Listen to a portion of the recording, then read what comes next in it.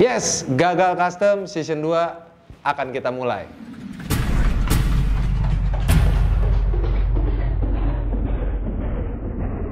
Halo teman-teman, ketemu lagi dengan gue Arindra dari Street Art Custom Dan video kali ini gue cuma pengen ngasih sebuah informasi yang mungkin kalian tunggu-tunggu Banyak yang nanya sama gue, kapan gagal custom diadain lagi? Tapi sebelumnya gue jelasin dulu satu hal Gagal Custom itu adalah sebuah program dari Street Art Custom yang memodifikasi motor dari follower Instagram. Waktu itu follower Instagram. Karena apa? Ketika pertama kali Gagal Custom dimulai, gue belum menjadi YouTuber dan gue belum fokus untuk mengupload video gue di YouTube. Faktanya, gue banyakkan mengupload di Facebook dan juga Instagram. Nah, Gagal Custom Session pertama waktu itu dilakukan pada tahun 2017 untuk menyambut sebuah event yaitu Parjo Bandung 2017. Di mana gue bekerja sama dengan event Parjo untuk membuat sebuah gimmick acara yaitu Gagal Custom di mana gue mensponsori acara tersebut dan memilih follower Instagram yang akan dimodifikasi motornya dan akhirnya dipamerkan di event Bandung.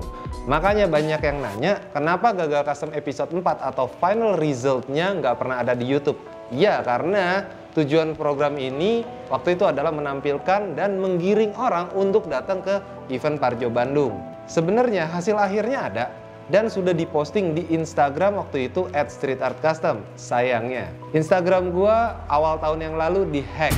Jadi data-datanya udah nggak ada. Oleh karena itu, ya banyak yang nanya sama gue apakah gagal custom ini bener-bener gagal sehingga motornya juga nggak selesai. Enggak, motornya udah selesai. Dan faktanya, pemenang gagal custom si Zahid waktu itu masih menggunakan motor ini sampai sekarang. Jadi buat teman-teman terutama yang daerah Bandung, pasti teman-teman banyak banget ngelihat motor si Zahid Suzuki A100 yang seliweran ketika Zahid pakai. Jadi pertanyaan udah selesai ya bahwa gagal custom sebenarnya adalah acara yang dibuat untuk event Parjo Bandung. Nah sekarang gue akan membuat lagi gagal custom season kedua. Ya dua.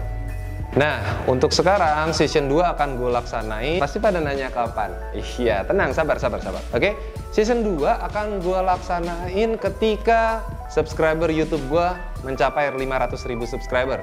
Wah masih jauh banget. Enggak kok, tenang aja. Gue yakin teman-teman kan mendukung modifikasi di Indonesia. Bener kan? Yoi. Makanya ajak semua teman, saudara, ayah, istri, ibu, encang, encing, adik, kakak, abang, dan segala macam untuk subscribe channel gua dan mendukung modifikasi di Indonesia. Nah, ketika nanti sudah 500 ribu subscriber, baru gua akan open submission. Caranya untuk mengikuti event gagal custom pastinya nanti akan gua posting di Instagram gue pribadi di Korek Ari, SAC Motorcycle, SAC Produk, SAC Dewata, dan SAC Train, serta SAC Painting. Dan juga pasti akan gue bikin pengumumannya di YouTube channel gue.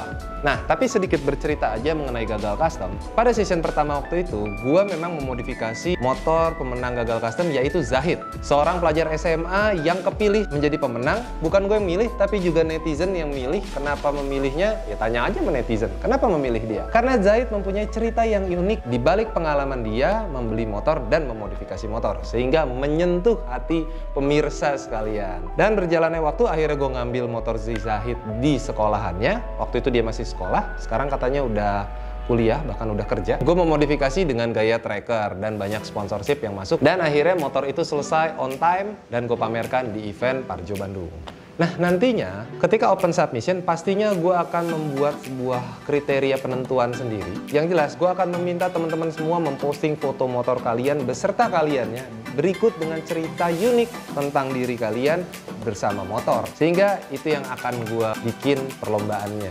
Yang milih pemenangnya juga bukan gue, tapi juga gue akan lempar ke publik supaya teman-teman yang memilih berdasarkan like terbanyak. Yang jelas tujuan gue membuat program Gagal Custom itu adalah menyemarakan dunia custom culture yang ada di Indonesia supaya makin berwarna. Dan yang jelas gue berprinsip bahwa custom itu untuk semua. Nggak ada lagi gagal custom karena kita semua bisa saling belajar dan juga saling memberitahu. Udah pada nggak sabar? Makanya langsung aja ajak teman-teman kalian semua buat subscribe channel gue. Sampai dengan 500 ribu subscriber kita akan mulai gagal custom. Dan buat teman-teman yang masih ada pertanyaan mungkin bisa komentar di bawah. Pantengin aja Instagramnya @korekari di Instagram pribadi gue dan juga SAC Motorcycle dan semua Instagram Street Art Custom. Itu aja dulu pemberitahuan dari gue. Dukung terus modifikasi di Indonesia, jangan pernah buang sampah sembarangan, jauhi narkoba serta pornografi, dan jangan pernah duduk di toilet jongkok. Ayo sama-sama dukung modifikasi Indonesia dengan subscribe channel gue sampai dengan 500 ribu subscriber. Gue Rindra Perkasa, bye-bye.